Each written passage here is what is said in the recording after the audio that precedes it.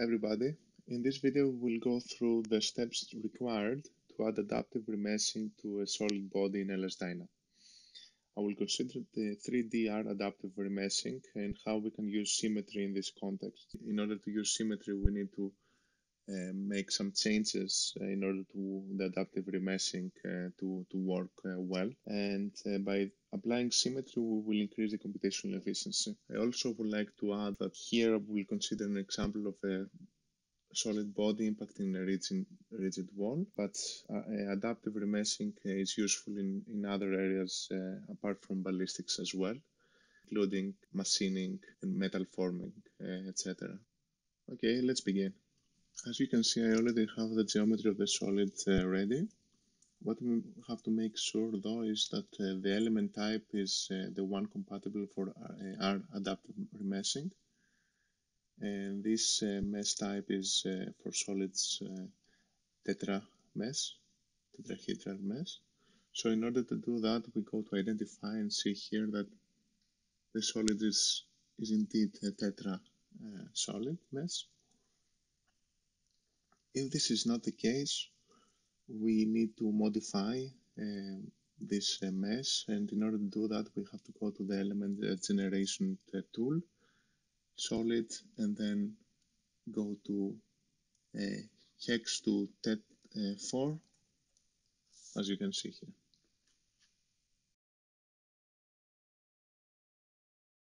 Now we can just uh, briefly see the material properties that were used in this model. I used a simplified uh, Johnson-Cook formulation for the steel uh, solid projectile with these properties here and I used the rigid uh, MAT 20 for the rigid wall because I didn't use the, the analytical formulation which is available in LSDyna for the rigid wall. I used solid elements instead.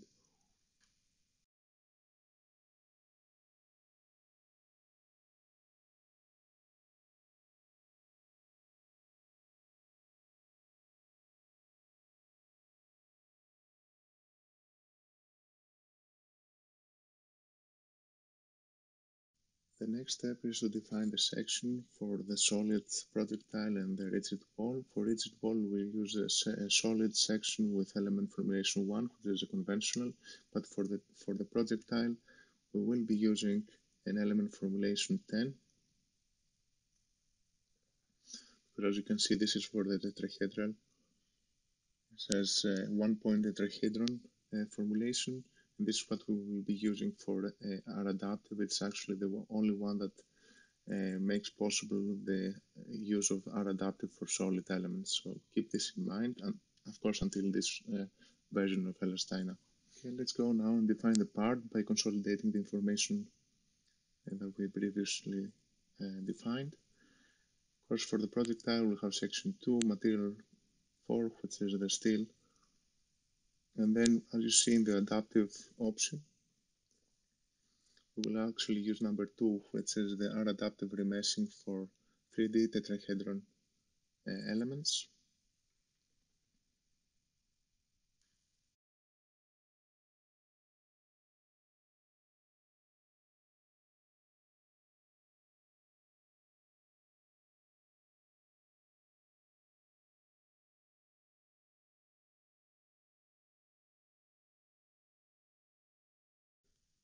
Two controls are specific to the adaptive remeshing. The first is the control adaptive uh, uh, card and the second is the control remeshing card. So let's start with that control adaptive card. LSDyna needs to know in how many increments of time uh, the adaptive remeshing will take place. So this the first parameter is exactly that, the frequency of the remeshing. So we need to control this. And during the analysis, there may be different requirements uh, where we need higher or lower frequency. So as initial the frequency, I will put 5 in the 10 in the power of minus 8 and decrease this uh, to 1 in the 10 in the power of minus 8 uh, after uh, 10 uh, microseconds uh, through the analysis. Next, we need to set the adaptive option to 7 because this is for 3D r-adaptive remeshing for solid elements. And we'll increase the number of refinement uh, level to 5.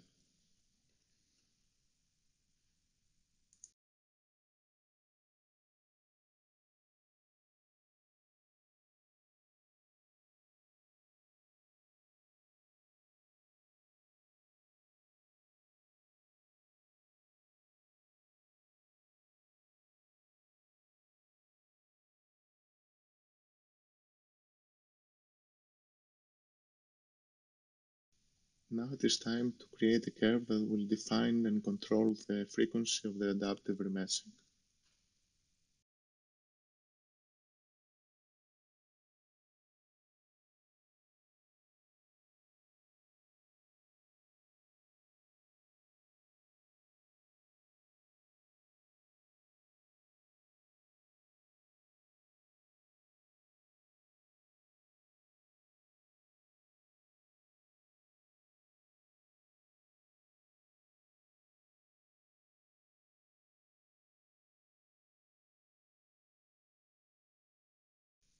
As I said before, we will increase the frequency of the adaptive remeshing after some time. And also as the last uh, point in the curve, we have to define it, it's better to define it uh, and extending more than the, the time of the analysis. So if the, uh, the time of the analysis is one microsecond, it's better to, to extend it uh, beyond this uh, time.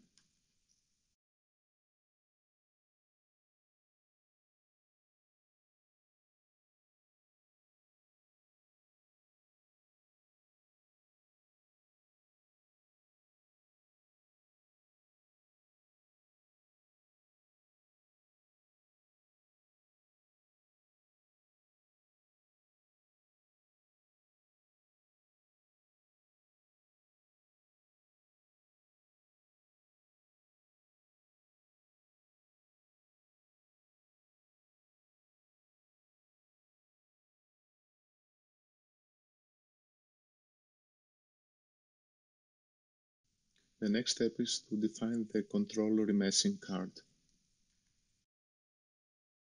The inputs in this card are mesh dependent, but uh, essentially what they mean is uh, they control how which elements will be affected by remeshing.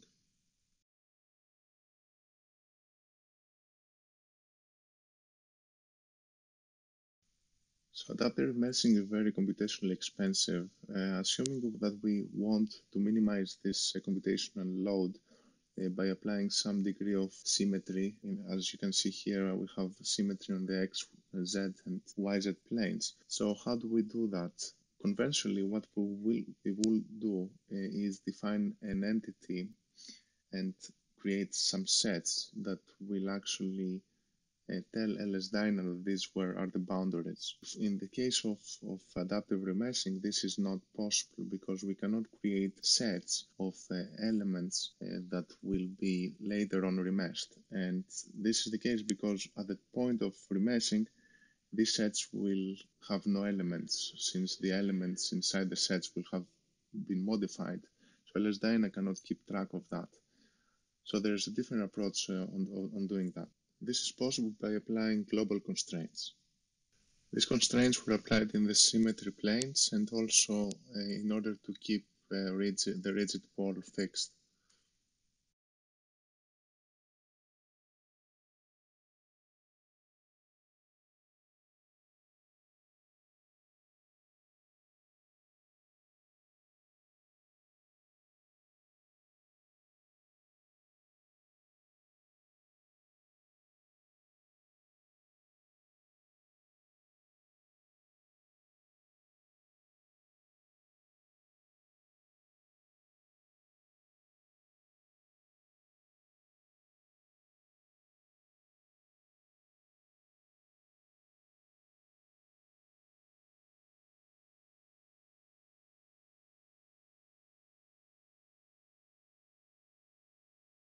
The final steps are to define the initial velocity of the projectile, the interaction between the projectile and the wall, and also uh, database cards, and lastly, the controls for the time step and termination.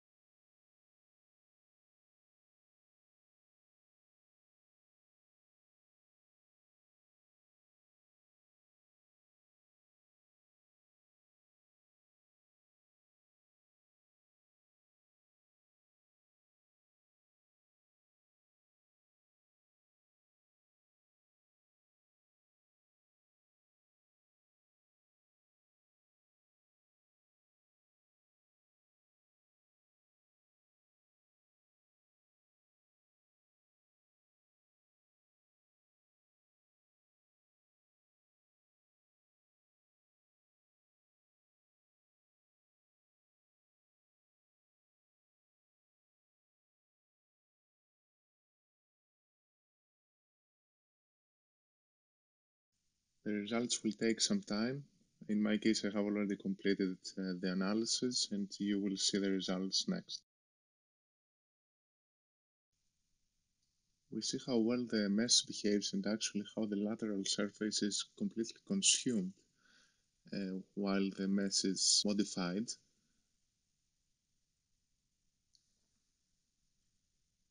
So the response is very satisfying indeed. That's all from me. Thank you for watching everyone.